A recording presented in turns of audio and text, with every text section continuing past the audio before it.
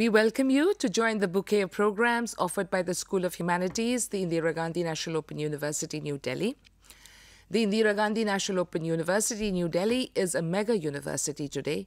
It was created by an Act of Parliament in 1985.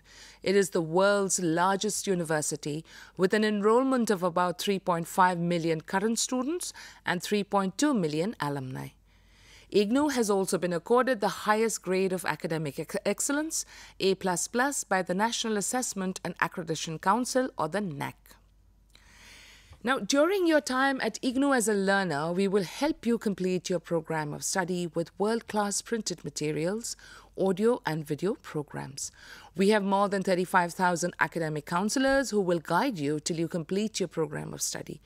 We also provide live interaction with your teachers at the headquarters via teleconferencing mode and live interactive radio counseling besides this, supported by regular TV and radio broadcasts. The School of Humanities was created in 1988, and we welcome you warmly to join any of our programs of study. IGNOU degrees, diplomas, and certificates are recognized not only in the country but are also very well received across the globe.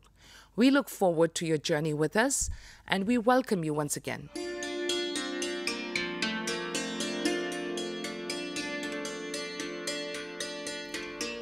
The School of Humanities of the Indira Gandhi National Open University offers more than 26 ODL programs, which is open and distance learning programs, and now more than 10 uh, online programs.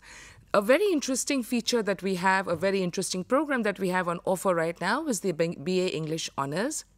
Now, in this particular program, what we've done is we've taken a large number of uh, courses from English which means is English as a discipline. And then we have also uh, put in other interdisciplinary and skill-based elective courses. So all of them combine to give you the BA English Honours, which gives students the exposure to subjects which is related to English literature as well as other disciplines and it will introduce you to various aspects of literature through the core, the discipline centric, the ability as well as the skill enhancement and generic courses. Now it also exposes learners to the importance of interdisciplinary study which is in keeping with the National Education Policy 2020.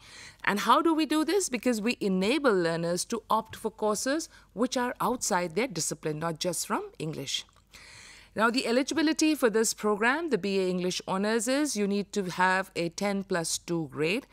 And for those students who do not have five subjects, five core subjects, right? Especially if they have a SUPW course as the fifth subject, they need to pursue one senior secondary level course from the National Institute of Open Schooling, New Delhi, or any of the state open schools so that you meet the uh, minimum eligibility condition of having passed in minimum of five core subjects.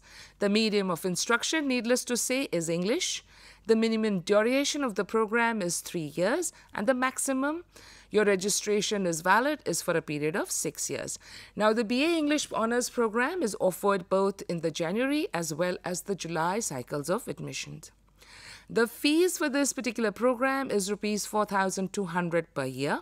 So in a total, you pay 12,600 and you also need to pay a registration fee of 300, which is only at the time of admissions. Now, in the BA English uh, Honours program, let me tell you a little bit in detail. We have 14 core courses of 6 credits each.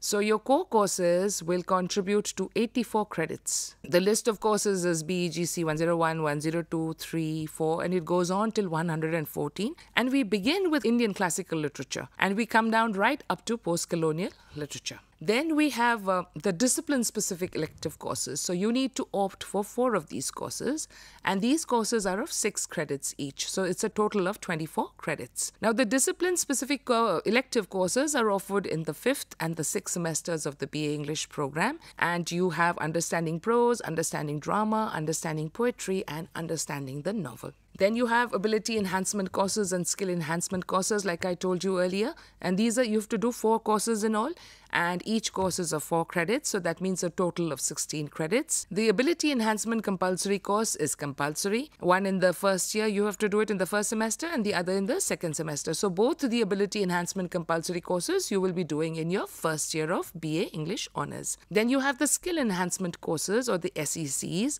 which are basically value based or skill based courses and they are designed for helping you develop competencies and skills in various areas. And these are on offer in the third and the fourth semesters. So these are two courses, four credits each, so that means eight credits, right? Then we have generic electives. Again, four courses, six credits each, 24 credits. Now, the generic elective courses are the other type of electives that are on offer in the first, second, third, and fourth semesters of the program.